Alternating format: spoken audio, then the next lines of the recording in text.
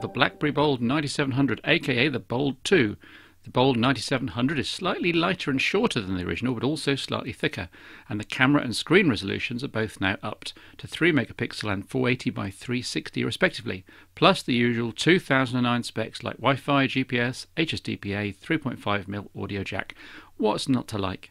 Staying with RIM, the Storm 2 has also been launched with major improvements to the 3.2 inch touchscreen. Well, it couldn't have been worse, and almost identical specs to the Bold 9700. T Mobile has launched what is the cheapest Android based smartphone yet at only £180 in the UK. The Pulse is a monoblock design, has a 3.5 inch touchscreen, and weighs 130 grams. Despite the price, it has HSDPA, Wi Fi, and a 3 megapixel camera. From what I can see, though, it doesn't seem to be a bona fide Google experience phone, so possibly no direct over the air OS upgrades. Only at the moment for Android 2.0 and only coming up on one device, the Droid, and only for one country, the USA but surely to gradually extend across the world and onto other platforms is the new Google Maps navigation. At last, a full voice guided navigation solution from the Big G, and of course, for free.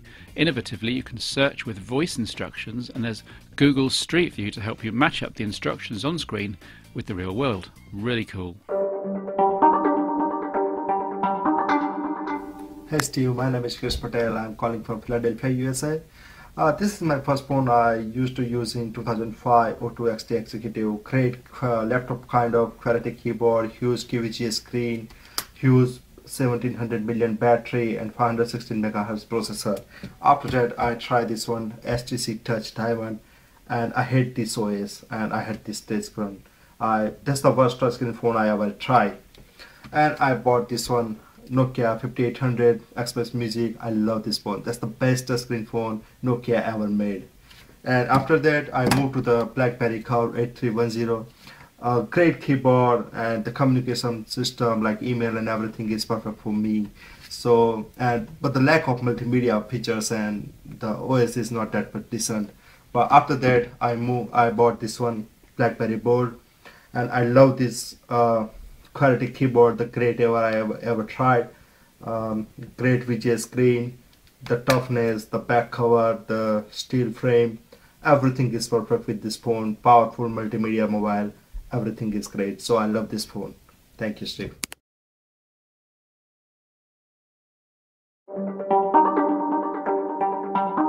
And so to my much agonised over and long awaited autumn 2009 top 5. And I'll admit it has been a tough decision and arguably a controversial one. So, as not to inflict the Nokia N95 8 gig on you yet again, I restricted myself to devices launched in the last year or so. And one other note there's no Android in this lineup yet. I have absolutely no doubt that a really decent Android powered smartphone will appear in my top 5 before too long. I just haven't held one yet.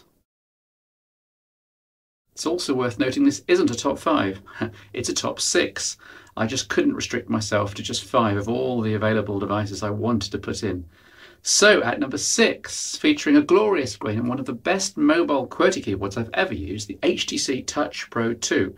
It pitches itself as a mini laptop, and to some extent it achieves this.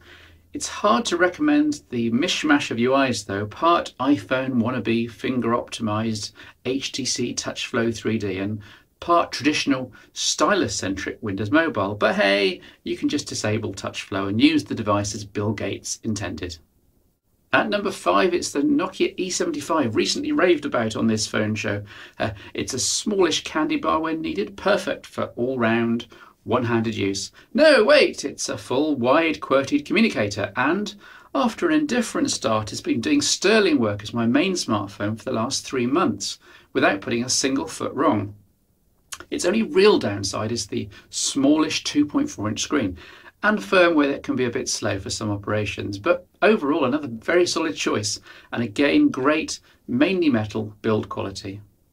And number four, it's a device that I haven't really used for more than a few days personally, but which I've had so many positive testimonials about. You saw one earlier in the show, and I do love the hardware that I really, really wanted to give it some kudos here. The BlackBerry Bold, despite being about to be superseded, as you saw in the news, is a reassuringly solid choice, again like the E75, with great build quality, and should do just about anything you want it to do. At number three, widely criticised by many reviewers as, quote, old fashioned on account of its uh, unfashionable Nokia N95 style form factor, the N86 8 megapixels does impress hugely within this shell. Though only 2.6 inches, the screen is OLED and utterly gorgeous in all but the strongest sunlight.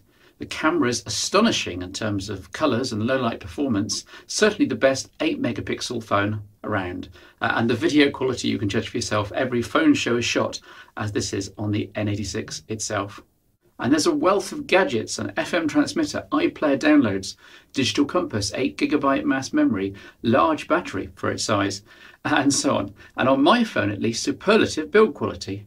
They bring the N86 deservedly in at number three in my top five.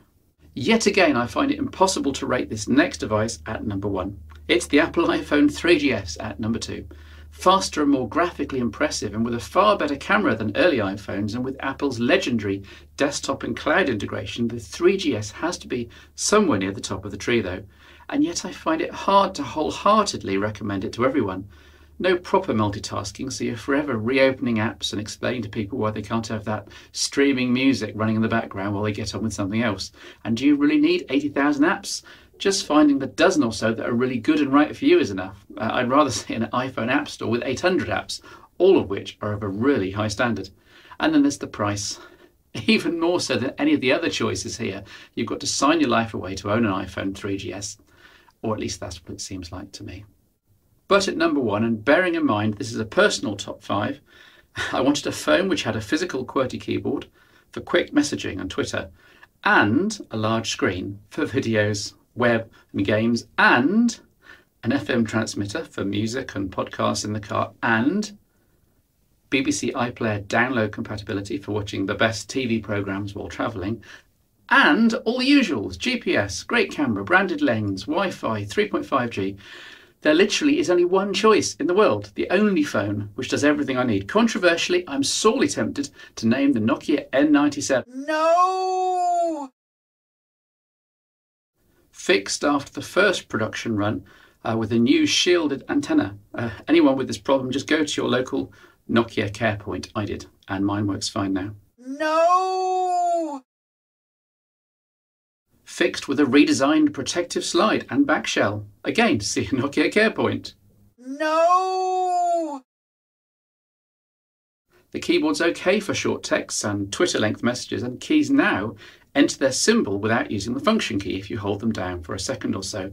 It was one of the fixes in the version 20 firmware, which is out about now. No! Also fixed in the version 20 firmware, the N97 is now working smoothly with iPhone like kinetic scrolling everywhere as well. But I do appreciate I've had to throw a huge bunch of caveats in here, and to be honest, it's a little on the large side, and trying to use it one handed sees me regularly nearly dropping it.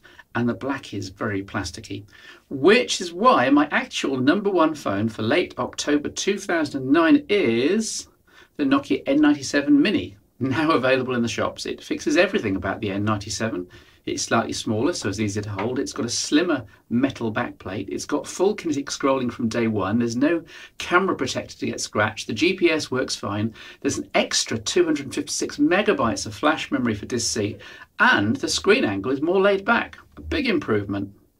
And so the Nokia N97 Mini is, in my opinion, the hottest, most functional, and most useful phone in the entire world. Now, I'll be revisiting this top five in the first show of 2010, so I'll see you then.